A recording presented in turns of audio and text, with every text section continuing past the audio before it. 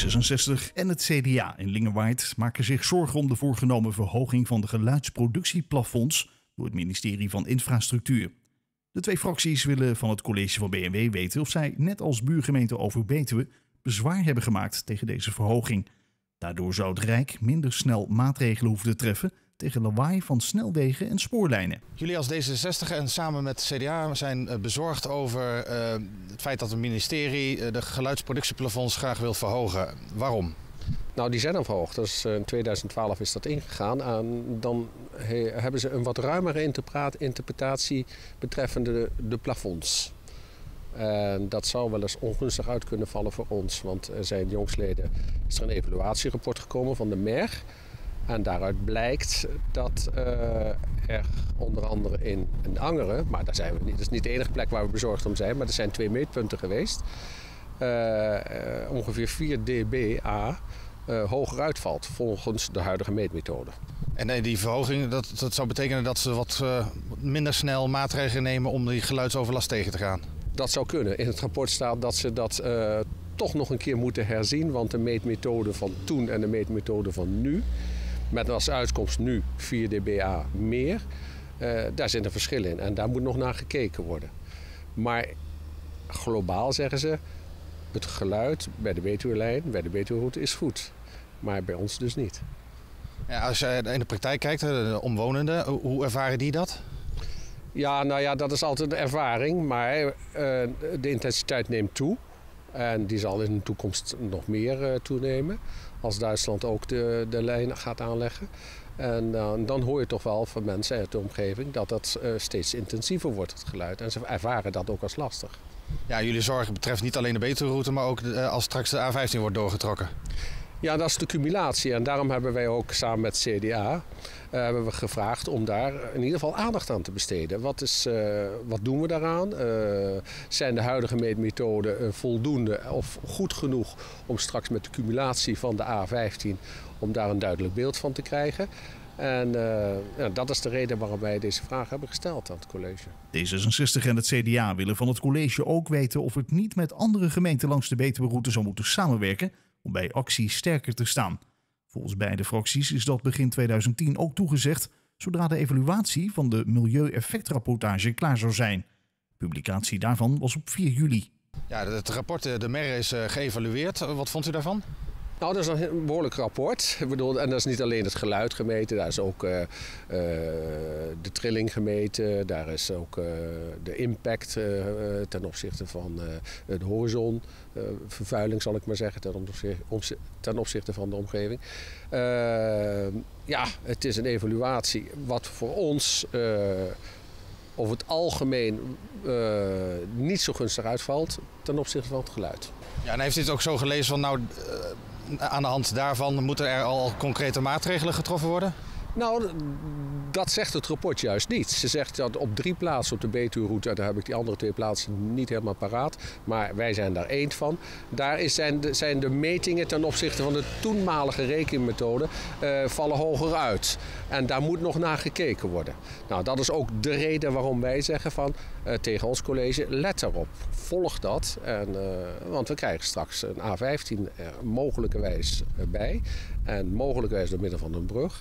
Nou, dan zou er nog wel eens een combinatief effect kunnen zijn. Ja, u roept het college ook op om, om in ieder geval uh, goed na te denken of het niet verstandig is om met omliggende uh, gemeenten aan de Betuwe-route samen op te trekken. Uh, bewijst dat rapport dat eens te meer? nou ja, kijk, over Betuwe heeft ook al vragen gesteld en heeft gereageerd op, op de evaluatie in Berg. En uh, wij roepen het college op, nou kijk eens met onze buurgemeente wat we samen kunnen doen. Want ja, bedoel, het loopt de, de Betuwe-route en de A15 loopt vanuit over Betuwe over in onze gemeente.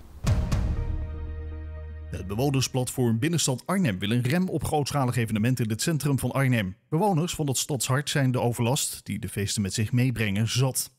Krachtstroom leverde de gemeente 19 klachten op over geluidsoverlast. Maar lawaai is niet het enige dat de bewoners van de binnenstad stoort. In het Arnhemse stadhuis kunnen de bewoners van de binnenstad rekenen op begrip. Maar maatregelen die zijn niet 1, 2, 3 te verwachten. Dat geeft de woordvoerster aan. Duiven gaf woensdag de symbolische aftrap van de tweede fase van Vitaal Centrum. Oftewel de nieuwbouw en de opknap van het winkelhart. De gemeente revitaliseert het winkelgedeelte tussen de Kastanjelaan, de Rijksweg en de Pastoriestraat. Iets oostelijker is de gevel gesloopt waar onder meer een Chinees restaurant zat. Op die plek wordt het grotere cultureel centrum onderling genoegen een van de nieuwe panden. En de operatie van de 25-jarige Arnhemse Andrea, die aan ondraaglijke hoofdpijnen lijdt, lijkt geslaagd. Tijdens de operatie is een neurostimulator in de hersenen ingebracht. Dat is een apparaatje dat met elektriciteit heftige pijnprikkels in het hoofd tegengaat. Andrea werd eind augustus in België geopereerd en heeft sinds die tijd geen hoofdpijnaanvallen meer gehad. Zorgverzekeraar Mensis wilde de ingreep eerst niet vergoeden, maar zwichtte na een enorme social media hype. Bestuurders van de provincie Gelderland en de waterschappen hebben woensdagmiddag een bijeenkomst Gelderse Waterdag bijgewoond. Deze vond plaats op het landgoed Rederoord en kende als thema stedelijk waterbeheer in het licht van de klimaatveranderingen. Bij mij ging het hoe je eigenlijk het beste weer met de natuur mee kan werken, zodat we onze steden toekomstbestendig maken. Want het gaat in de toekomst veel harder regenen in korte tijd, dat heeft iedereen ook al beleefd. En soms krijgen we veel langere periodes met hele warme dagen. Dan wordt het ook te droog. Ik denk dat veel mensen dit jaar ook hun tuin vaker moesten sproeien. En ik heb gewoon uh, ideeën laten zien hoe we voor de toekomst kunnen zorgen dat we ook genoeg water in de stad houden. Niet te veel en niet te weinig. En hoe we de natuur en over water weer kunnen gebruiken om onze stad toe te rusten op die verandering van het klimaat. Ja, wat kan dat voor het publiek bestaande uit voornamelijk bestuurders concreet betekenen? Nou, bestuurders, heb ik al gezegd, die moeten vooral een visie hebben. Ze moeten zich daar bewust zijn van de uitdagingen die we hebben. Dat is natuurlijk nog meer dan klimaatverandering. Ook dat onze uh, fossiele brandstoffen opraken en zo. En hoe we de stad nu vorm kunnen geven en zo langzaam ombouwen.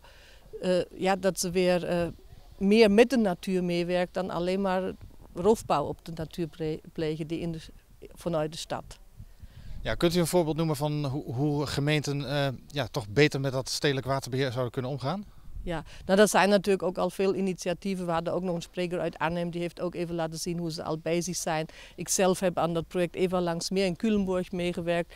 Daar hebben we gewoon gezorgd dat er ja, zo min mogelijk verharding is, zodat het water weer zoals het in de natuur ook is de grond in kan en het grondwater aanvullen. Of er zijn ook vijvers gemaakt waar we het water bergen en dan kan ook de waterpeil een beetje omhoog en omlaag. En dat is ook tegelijk mooi voor de mensen, want de meeste mensen vinden ook leuk om aan water te wonen of meer groen in hun omgeving te hebben. Want ook zo'n boom, die houdt gewoon heel veel water vast. Als het regent op zo'n plat kunnen heel veel druppeltjes water blijven liggen. Dat is veel beter dan een stukje beton uh, weg of uh, asfalt weg. Want daar moet alles van weg getransporteerd worden via het riool. Een bijeenkomst over uh, stedelijk waterbeheer. U zal vast de nodige praktijkvoorbeelden van Arnhem hebben aangedragen. Ja, dat was erg leuk om uh, te doen. Het is een dag van provincie en waterschap en het gaat met name over water, maar ook over klimaatverandering. En dan is water een onderdeel, maar er komt veel meer bij kijken. De hitte in een stad, nou, het gebruik van, van alternatieve energiebronnen, zonnepanelen. En ik vond het uh, heel erg leuk om daar de ambitie van Arnhem uh, een verhaal over te houden hier. Ja, wat voor zaken heeft u zoal aangehaald? Nou, met name dat water, dat is toch wel een heel belangrijk punt. Want we, we krijgen steeds meer regenbuien die in heftigheid toenemen. Dus dat betekent wateroverlast. En dan denk je, ach, het water loopt in het putje wel weg. Maar je hebt te maken met een rivier, Rijkswaterstaat. Je hebt te maken met een waterschap. Je hebt te maken met een provincie. En je hebt te maken met een gemeente. En dan is het heel leuk als je al deze partijen bij elkaar hebt. Om dan met elkaar van gedachten te wisselen. Denkt u ook dat er uh, andere bestuurders zijn die denken van nou, die ideeën, of die, die, die gerealiseerde ideeën in Arnhem, dat lijkt me ook wel wat? Ja, ik uh, kreeg veel complimenten. Dat mensen zeggen, goh, kunnen we nog eens verder praten? Want uh, er gebeurt toch wel heel veel in Arnhem. Ja, alom is inmiddels het programma Energy Mate in Arnhem bekend. En daar is klimaat een onderdeel van. En ik vind het altijd leuk om ambassadeur van de stad te zijn en dat uit te dragen. Lingewaardse collegeleden moeten zich bij het declareren van reis- en verblijfskosten in het vervolg aan strikte regels houden. Burgemeester en wethouders zijn vanaf nu onder meer verplicht voor het vaststellen van het aantal kilometers gebruik te maken van de routeplannen Routenet, waarbij uitgegaan dient te worden van de kortst mogelijke route. De nieuwe procedure indienen declaraties moet voorkomen dat de gemeente nog eens geconfronteerd wordt met spraakmakende bonnetjesaffaires. En inwoners van de Liemers, waaronder Duiven en Westervoort, gaan volgend jaar 15% meer waterschapslasten betalen. Dat is een indirect gevolg van de krimp. Er zijn minder belastingbetalers die de kosten van het waterbeheer moeten dragen. Volgens het waterschap Rijn en is het onvermijdelijk dat fors wordt ingegrepen in het tarievenstelsel. Voor burgers zal de verhoging al gauw neerkomen op zo'n 15 tot 20 euro meer per jaar. Een vakantiebestemming vinden, ja, dat is in de praktijk vaak niet zo'n moeilijk verhaal. Wel lastig geworden als je in het bezit bent van een caravan of een camper, maar geen plek hebt om deze te stallen. En heb je dan eenmaal een plek, dan is het nog maar de vraag of het voertuig geen schade oploopt door het weer of door vandalen.